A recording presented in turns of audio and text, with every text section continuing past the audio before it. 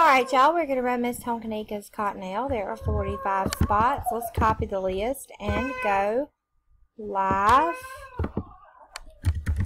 at 344. It is 344. Paste our list. We have 45 spots, so we're going to need a 4 or higher on the dice. We have an 8. Here we go at 344. After the first time, there are 45 items on the list. Deborah's on top and Tessa's on bottom. Dice calls for an 8. Here we go at 344.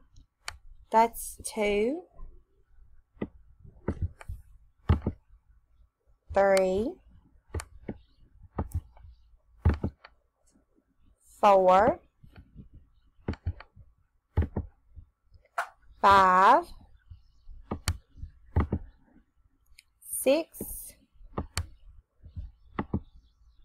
Seven. After the seventh time, there are 45 items on the list with Jessica on top and Ashley on bottom. We've randomized seven times. Dice calls for an eight. Here we go at 345. Good luck, y'all. Alright, after the last time, spot number 19, Miss Sherry, you are the winner. Congratulations. 45 items are on the list, and we randomized eight times. The dice, a 5 and a 3, did call for an 8. We are done at